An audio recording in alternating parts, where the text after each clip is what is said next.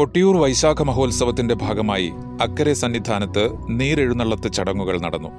പതിനൊന്ന് മാസം തികഞ്ഞ നിശബ്ദതയ്ക്ക് ശേഷം സ്ഥാനികരും അവകാശികളും അക്കരെ കൊട്ടിയൂർ സന്നിധാനത്ത് പ്രവേശിക്കുന്നത് നീരെഴുന്നള്ളത്ത് നടക്കുന്ന ദിവസമാണ്.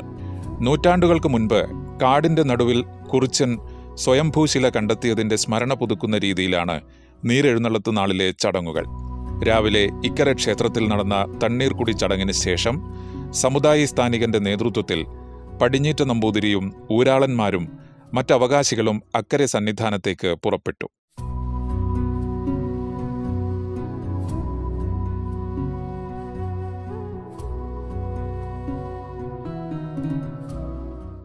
ആചാരപ്രകാരം പ്രത്യേക വഴികളിലൂടെ സഞ്ചരിച്ച് മന്നംചേരിയിലെത്തിയ സംഘം തുടർന്ന് മന്നംചേരിയിലെ ഒരു സ്ഥലത്ത് നിന്ന് കൂവ ഇലകൾ പറിച്ചെടുത്തു. പടിഞ്ഞിറ്റ നമ്പൂതിരിയും സമുദായിയും ഈ കൂവ ഇലകളിലാണ് മണിത്തറയിൽ അഭിഷേകം ചെയ്യുവാനുള്ള തെളിനീര് ശേഖരിക്കേണ്ടത്. തുടർന്ന് ബാവലിപ്പുഴയിൽ മുങ്ങി കുളിച്ച ശേഷം ആചാരപ്രകാരം കുറിച്യസ്ഥാനികനോട് അക്കരെ പ്രവേശിക്കാനുള്ള അനുവാദവും വാങ്ങി സംഘം അക്കരെ പ്രവേശിച്ചു.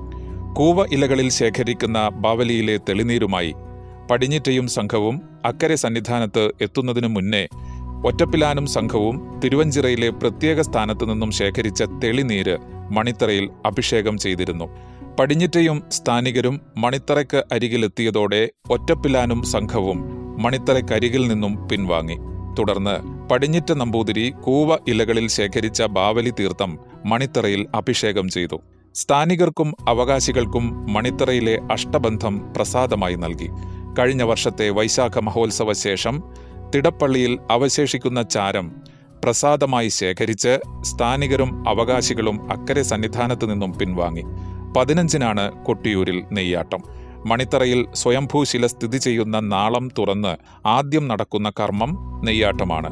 നെയ്യാട്ടത്തിനു മുന്നോടിയായി ഇനി തിരുവഞ്ചിറയും കയ്യാലകളും വൃത്തിയാക്കി അക്കരെ സന്നിധാനം വൈശാഖ മഹോത്സവത്തിന് തയ്യാറെടുക്കേണ്ടതുണ്ട്.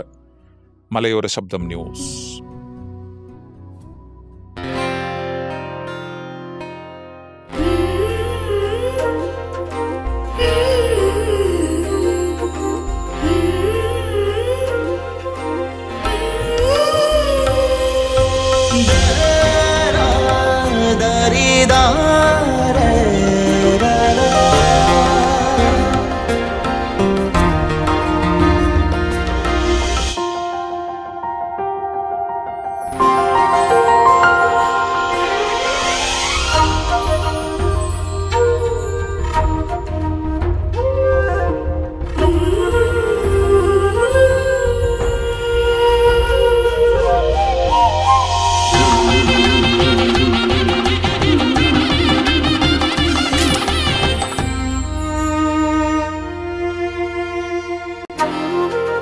സ്വർണം സ്നേഹമാണ്.